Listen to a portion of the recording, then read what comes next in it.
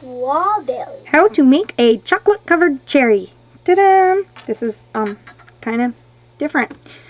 Alright, I don't know why anybody would want to make one that actually has filling in it where you can't see it, but I keep getting questions about it, so I'll show you how I would do it if I were going to do it. Let's pretend this is a chocolate covered cherry. What you do is you start with a little bead, a little bit smaller than you actually want your chocolate covered cherry. Then you take your little piece of clay, little brown chocolate, milk chocolate, mmm, yummy, yummy, and I'm, I'm moving around here. You take that and you cover the little bead, come back here, excuse me. So you cover the bead, you want the bead to be sticking out towards the bottom, and this is a lot bigger than the small one I made when I had lots of time. Alright, but anyway, so you do like that. And then you can see the bead on the bottom, which is fine. Then you take your blow dryer and you harden it. So, once you harden this little sucker, I mean this little puppy, then you take a toothpick or something and get that little bead out. And because it is a bead, it should have a little hole, so you might even be able to get a hold of it and pull it out. But just get it out, whatever you do. Take that out. Now you have the top of your chocolate, and it's hard. And you would take some triple thick glaze, triple thick, you know that one, and drizzle it inside just a wee little bit. There. There's your gooey stuff. And then you would take a cherry red seed bead. Look, there's your cherry. And I know it's too small for this one because, well, just This is. is popcorn. Made my chocolate too big. But anyway, there is your cherry inside Mom, there. I need, Mom, I need some yellow. Yellow again. There you go. Don't use all the yellow, sweetie. I know. And then I would let this um, dry completely, dry. And um, if you're never gonna see the cherry, I guess it wouldn't. I don't know why you would even mess with it, but some people want to know. So anyway, you take another little piece of clay after it's all dry, and you make a little circle, and you would put that on top, and then you would blend it on the edges. Oops, let me see, show you here. Anyway, you'd take your time. Your fingers are going to be the very best blender. And if you have a little crack, then fill it. Use the other clay to fill it. Anyway, so then you would have a chocolate covered cherry um, filled.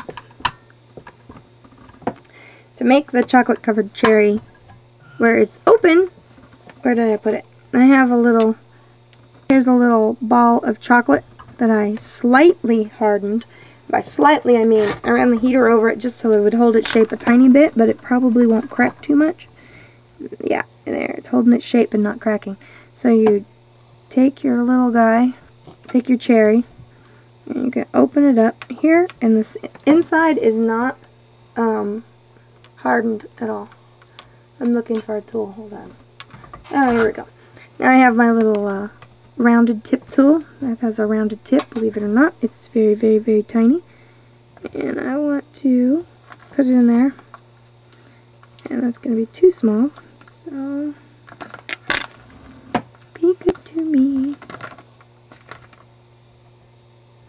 So, oh, here, you can't see what I'm doing.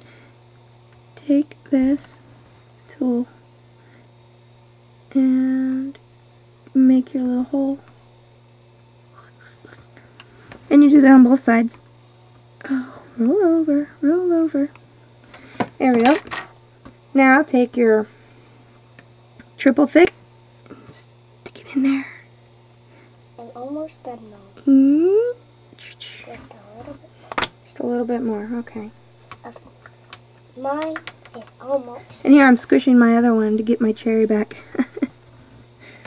I'm taking my dental tool. Give me my seed bead. So then I put my seed bead, and that is the correct size.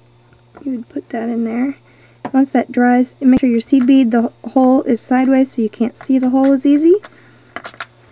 Oh, I really need smaller fingers. Maybe I could help. Oh, you could help. That would be very nice. Thank you. I have So there. Down, boy, down. boy. Okay, fine. There would be your popped open. Oh my goodness. What? Will you get off of there? Off. Off, I say. Good boy.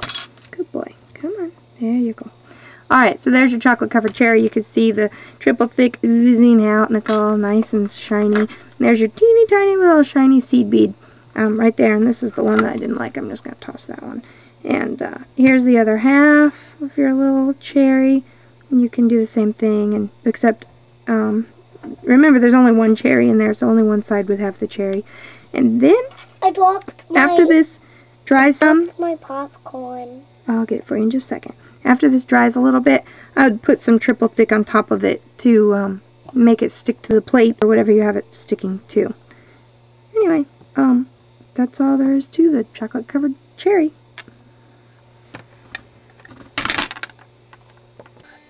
Okay, first you roll a big ball of yellow you can see. And you make two. Get lots of clay and roll them in a ball like these. And then put them in a bowl like this